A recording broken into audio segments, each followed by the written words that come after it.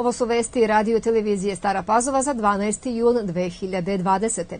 Od danas na snazi naredba o zabrani okupljanja više od 500 ljudi u zatvorenom prostoru na javnim mestima u Srbiji.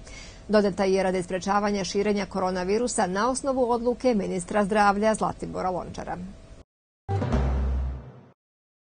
Fabrika prehrambene industrije Budimka je važna za celu Srbiju, izjavio je danas predsednik Aleksandar Vučić ističući da se Budimka kao i cela Srbija podigla iz pepela kao Feniks.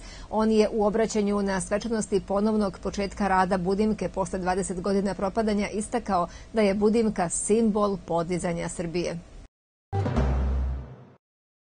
U poslednja 24 sata koronavirusom u Srbiji je zaraženo još 73 ljudi. Testirana su 5793 uzorka, od kojih je 73 pozitivno, a ukupan broj registrovanih slučajeva u Srbiji je 12175. Broj aktivnih slučajeva je 512, dok je na respiratoru 14 osoba. Dobra vest je da danas nema preminulih od COVID-19. Ministar prosvete Mladen Šaršević izjavio je danas da neće biti menjana odluka o organizovanju ekskurzija i maturskih proslava uprkos porastu broja zaraženih koronavirusom posle popuštanja mera, jer kako je rekao sve odluke su donete u skladu sa preporukama kriznog štaba i da razloga za brigu nema. Uporedo sa izgradnjom brze pruge Beograd-Budimpešta na deonici od prestonice do Stare Pazove biće izgrađena tri nadvožnjaka, Kamendin, Nova Pazova i Stara Pazova i podvožnjak Zemun Polje, a biće urađene i železničke stanice Novi Beograd, Batajnica, Nova Pazova i Stara Pazova. Na deonici Beograd centar Stara Pazova u toku su radovi na rekonstrukciji i modernizaciji levog koloseka. Dva postojeća koloseka između Beograd centra i Batajnice biće rekonstruisana, dok će između Batajnice i Stare Pazove biti napravljena dva nova koloseka i za Staropazovačku opštinu je ovo od velikog značaja. A zgrada železničke stanice biće renovirana u sklopu velikog državnog projekta i treba da zadrži svoja obeležija s obzirom na to da je originalni objekat izgrađen 1883. godine kao tipska zgrada u tadašnjoj Austro-Ugarskoj, a nakon Prvog svetskog rata je urađena restauracija i izgrađen je novi objekat sa sadašnjim izgledom u koji se nije ulagalo u prethodnim decenijama.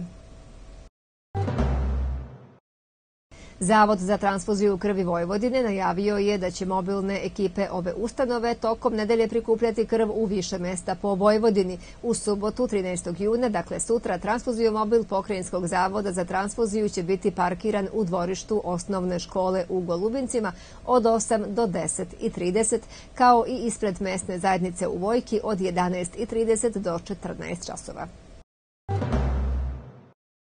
Drugi mini sajam knjiga u organizaciji Narodne biblioteke Dositej Obradović biće otvoren do 14. juna na trgu Dr. Zoran Đinđić u Staroj Pazovi. Od 15. do 28. juna prodajna izložba knjiga biće postavljena u Novoj Pazovi na Plutovu u Njegoševoj ulici kod broja 2. Veliki broj popularnih naslova po sajamskim akcijskim cenama nudi desetak domaćih popularnih izdavača.